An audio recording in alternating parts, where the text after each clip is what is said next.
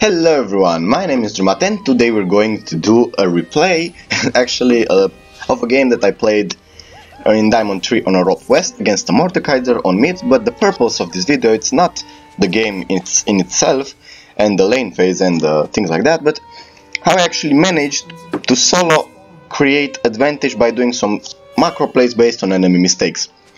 So we're going to start right at the beginning, by the way I will have a huge score and probably carry most of the game because of it. And I want to say as a disclaimer that this is still in Diamond and these mistakes happen at every elo. So you can expect them everywhere, not only here. So if you're even Diamond 1 or below on any server, because come on, this is Diamond 3 on West, I'm Diamond 2 now, climbed again, out of tilt. You're gonna expect and see these mistakes so often in lower elos, that's actually that's actually pretty legit a video that's about to come about the common mistakes of uh, some people. Now the common mistakes that I want to focus on is that first of all this Yuumi is AFK here for a bit and as you're going to see now this video will be about how I generate advantage how I try to kind of abuse the mistakes of others so here guys I just put a ward and we see Yuumi here AFKing, they both seen it. They both seen the ward, they both seen the uh, Lux, Lux Q. So I say what? Okay. If they are staying here without even checking this area of vision, well then, you're going to see in a second, I'm gonna ping that I'm coming, I don't care. I don't care it's a 2 versus 3, I have advantage, I'm Taliyah. If we're being careful, we cannot lose this. They didn't ward, they still didn't ward, that's a mistake and they still stay over the world even though they've seen it. So, what's going to happen next? Well, disaster for them. Yuumi didn't even use heal, although I don't think it would have helped. And even though here Xin had flash to actually knock up the Lux, he didn't bother to use it. So I got two kills already. And the third kill, uh, look how I didn't use Q here very important. I didn't use Q to enter the bush because I did not know if she's going to go this way or this way. Very important, by the way, before going into bush that you don't have vision. Okay, simply triple kill. Look at the scene, level 1, look at my jungler, already having two camps, doesn't matter that top lost, he's, it's a Riven with Ignite. Now my jungler will have huge advantage by this, and I'm going to do the lane quicker. I'll also play, I, by the way, I also play with uh, Arcane Comet, I find out, I found out that in matchups that are melee, it's way way easier to play with Aery or Comet, and I started doing that in most matchups actually Comet because it gives the necessary power to actually keep up in damage with some uh, champions. And look at that, look at that burst.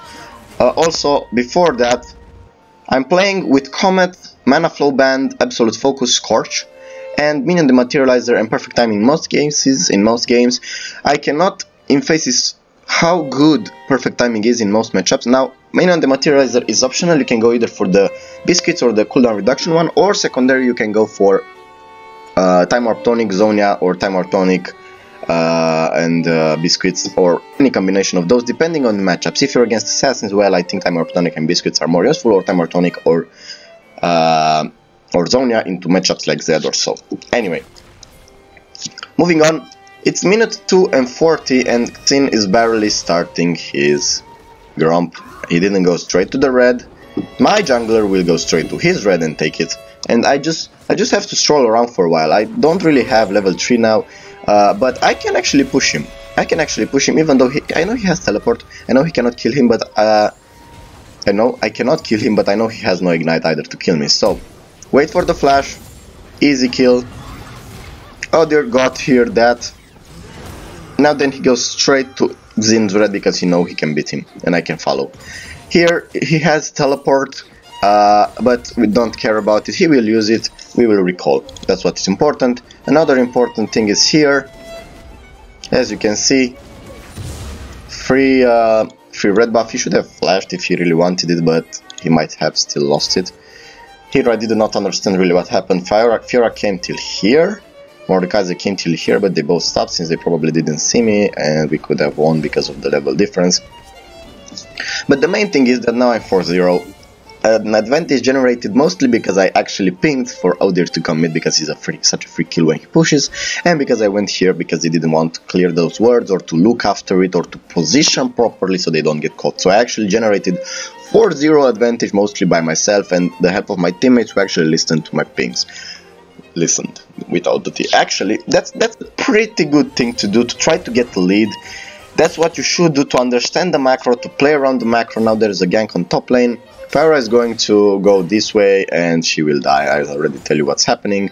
No one will die in our team and Xin cannot do anything right now because uh, it's an early game matchup between junglers and we have the upper hand now that Udyr has this huge advantage. Also, Mordekaiser isn't really doing much as you can see here. I have Ignite soon. I just just do my lane thing now. I, I will have Flash for a long time now. They cannot kill him. I should have maybe go for this one. Look at the brights also. But the main thing is that Mordekaiser has literally no chance to kill me right now because he used his teleport. I have my Ignite and Flash up. And I just have to dodge that little pull thingy. And as you can see here, bam, dead again. 5-0, minute 4. Basically I have a kill per minute. Let's speed it up. Udyr is keep is doing the invade thingy. Keep doing it. It's still invading as much as he can. His, his the main problem here is that he tries to fight uh, this, and his bad macro awareness actually get, got him killed because he should have known that Fiora got there first. We, me and Riven were both picked back. That's the diamond, low diamond mistake that we're going to see a lot of times. Now, I want to do a strategic ward here to actually keep the abuse on uh, the Xin.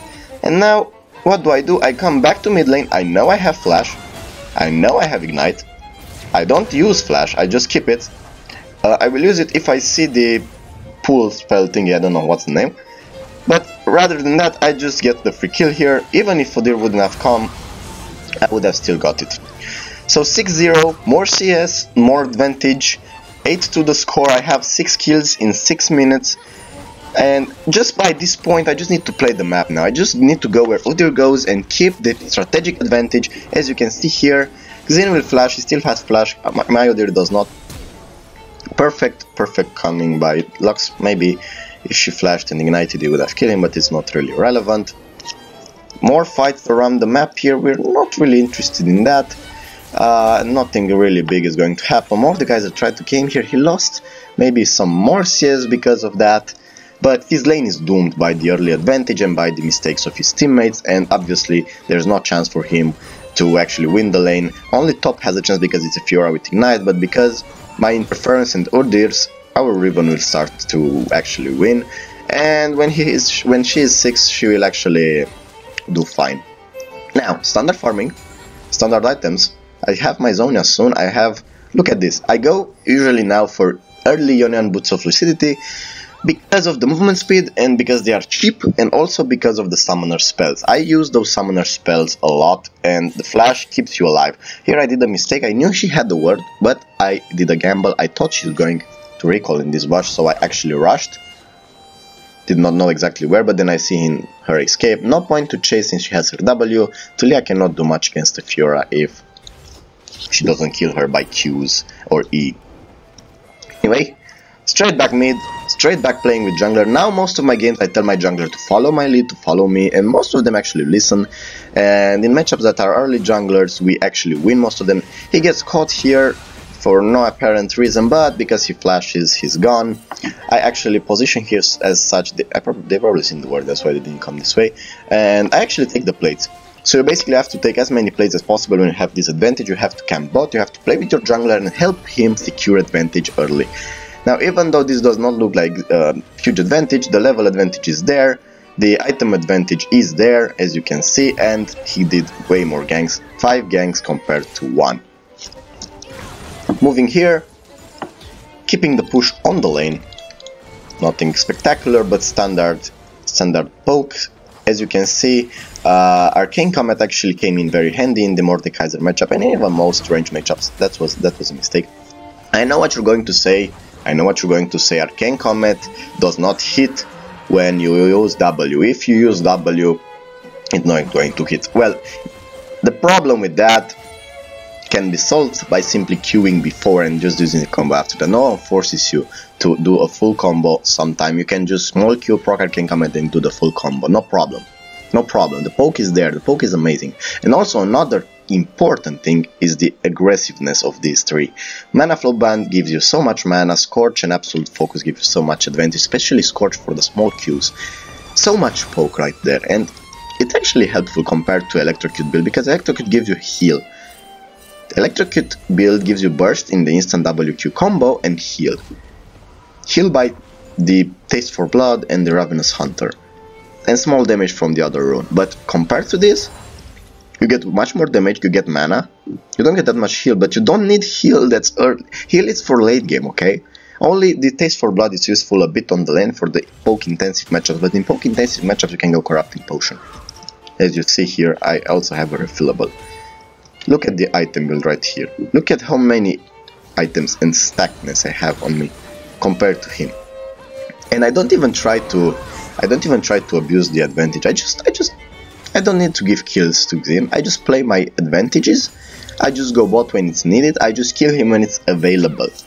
I just deny as much as and as much XP as possible from him. As you can see, there is a 2 level difference and 18 CS, well 12 if he takes the whole wave. But here again, I mistaked, I did a mistake here by doing a bad W.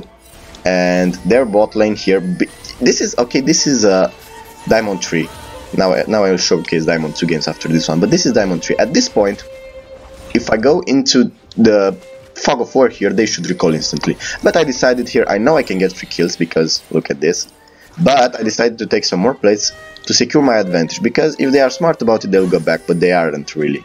So they are starting pinging me, of course, my team that I should go back, but I really wanted this plate, and I kinda knew that Xin is still here, and they didn't recall because they want plates too. So, easy, easy advantage that is still not lost. They should have recalled here. Well, the moment I disappeared, they should have recalled. As you can see here, easy kill, and going bot, alt to secure. I did not actually know if Xayah has flash, I presumed she does not. A good player would know if she has it or not but I could have actually killed her anyway, probably because of a follow-up flash. I would have not used my W if she flashed instantly over that wall. Most players will flash instantly, and don't don't sweat to use the W if your Q and E kills her anyway. As you can see, I used W only on Yuumi. So, 9-0, 900, 700 gold, uh, and uh, Riven is actually winning top because of Udyr. I actually won the other lanes, and their Mordekaiser is 0-3, their jungler is 0-3, the level difference in jungle is 1, on top is he's doing fine, but still Fiora will outplay her and again uh, probably with the ignite. Here, free kill, actually Mordekaiser ulted and sent Udyr to the Death Realm, because he's so behind he couldn't do anything and he doesn't have flash. So I just took the kill from him because I did not want Udyr to die. 10-0-0 you should actually you should actually help your jungler and take kills as much as you can if you know you can carry. So that's an important lesson as well here. Bot lane got both uh, both killed, but we killed uh, Xayah. It's fine. Now here I hit this tower as much as I can. I notice on that ward that there's a Xin coming. I don't care really. If I put the E down, I know I can kill him easily. 11-0 sticking the advantage, keeping the advantage up. I press tab so that you can see what items I go for. I don't need Zhonya here, very important. I don't need Zhonya here because I know I can kill uh, this guy. Uh, here, free kill. I actually tried to pass the kill to her. And normally I would have gone for Zhonya second item because I found out that the 40% cooldown reduction that you get is very useful. In many cases you can spam kills basically and proc that arcane comet so often. And we just we just end the game here. We just abuse the advantage that we got. So basically, I controlled whole game. I went with it. I picked my teammates to go where I wanted them to go. Mordekaiser should have death here as well.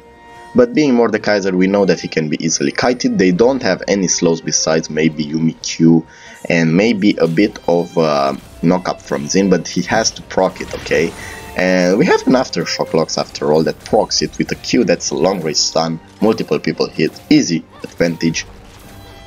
And that's about the clip that I want to show. You. They will surrender soon. It's not it's not a big deal. Uh, it's it's still a little more to go, but uh, you got the point in general.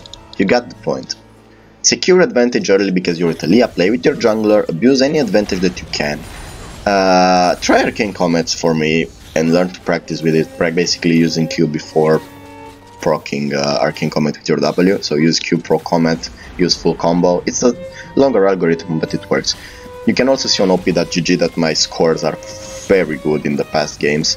I basically have a win streak now and I'm 9 2 at 0 points. I actually kind of climbed by myself. I, I tilted in two games possibly with Kennen and such because I tried new things. And I also have more games to showcase, so if you enjoyed this, leave a like, leave a comment and tell me what you want to see next, what kind of videos you want to see next, if you want to see live videos like uh, the one that where I talk over the plays that I do or this kind of tutorials. This is really a tutorial mostly, not uh, a game review, but mostly a macro tutorial to move around the map. And I don't think many people talk about the generated advantage and the pings that I did. Uh, early on, especially in that scenario, I actually pinged your locks. Dude, let's go here, they stay on your ward, it's easy, it's very easy to get kills, and we got 3 kills, I got 3 kills that, and then I didn't even lose whole game the advantage. This is a perfect idea and a perfect game by myself that actually I think carried most of the game. Uh, by the way, I got I, I got this game for um, four honors or three. I got the badge that tells that I don't really remember how many three or four honors, but they really liked how I played. If it's the game, if it is the game, or this one or the next one. In one game I got, but I think this one because I'm 11-0, so uh, yeah. Anyway, that's how you try to generate advantage, even though they had pretty good players. Fiora would have stomped in other contexts with other junglers. The 2 versus 2, I'm honestly sure they might have lost this in a standard scenario where Xayah starts here, Udyr starts here, and both converge here and for again. And giving this advantage here, actually one jungle, actually one mid, and bot lane just had to follow and top lane as well. But with two lanes that are winning and one that's contested and both junglers winning with both uh, top lanes are sometimes winning with the help of uh, junglers and their ultimates, uh, just bot lane was to be just bot lane was to be one and because they had a Xayah Yuumi which is a very weak comp early I mean into Lux Kaiser, Kai'Sa that scales and Lux that has CC to hit uh, immobile Xayah, yeah well we kind of won that as well. So that's the macro tutorial that I wanted to do today. This is the general aspect. All It all started from a triple kill and I really wanted to do a video on this because I wanted to show how to uh, actually generate advantage from your current advantage. How to actually play with your strengths. And as you have seen, I've put numerous wards here to know where Xin is at all times. Udyr also came mid Udyr understood that I'm the reason that will win the game probably, most probably early on, because of all these champions I'm the strongest early, and because Fiora has Ignite and because, uh, well, they might win, but Kai'Sa actually scales very well, so the point is to camp the Taliyah that doesn't really scale well into the late game, but will scale extremely well into the mid game. Udyr played with me, I played with him, we both helped each other, we got advantage, I got a good start here and I tried to keep up the start and to get the next thing. I don't know, I really don't know why she didn't uh, why she didn't heal here. Uh, probably a beginner Yuumi, probably a beginner Mordekaiser, a good jungler. I think I think the jungler had actually a good win rate, like 60%, like overall, which means that it's kind of kind of a smurfer. But by that, by doing this mistake here, the game was lost already. Yuumi tried to escape here, doing a smart, really smart thing. A bad Taliyah would have queued that way. This is some important things. Also, free kill on Mordekaiser because he pushed, I was pushed in. He had flash, but it was pointless because he had no way to kill me unless he dived me. And I played to my strengths. Udyr came, helped me. We got Whole general map advantage from here to here, only top lane got kills, bot lane was safe, bot lane was winning. They started losing when I did not go in time bot, but I actually chose plates over the roam and then still got kills on the roam because we're in diamond and people are still quite bad about it. Anyway, that's my general tutorial for today. I really hope it helped. I really hope you enjoyed it and you learned something from it. That's my goal. My goal is not to make tons of money from YouTube because if that would have been, I would have quit long time ago. My goal is to teach people to actually play Taliyah and things like that. I think this is one of my most educative recent videos if I I'm honest. I don't want to brag about it. It's not brag. It's like, okay, I actually focused on what happened. I did not talk over a live video where I actually kinda am not able to focus that good. I'm, I'm, I'm able to focus here on talking exactly what's in my mind, exactly on what went good for us, what went wrong for them. Just don't stay on a ward, please, when you clearly see. Don't AFK at early levels. That's a mistake that I see even on Reddit posts. Please don't AFK early. Please don't invade if you're losing the matchup. Please be careful in fights on jungle if your match if your mid lane doesn't have priority. Lilia most of the time has priority. So there are things that you should consider. Okay, I'm done. this, this, this is too much talking already, but I really, I really hope you enjoy this kind of videos, and I really try to teach people stuff. I don't really care about uh, how many people I reach if the people I reach right now are happy with the content I do. So let's do more of these videos because I now have time, I finish my studies, but I still have a job to take care of and like that. See you next time guys, see you next time and have a good one. Goodbye.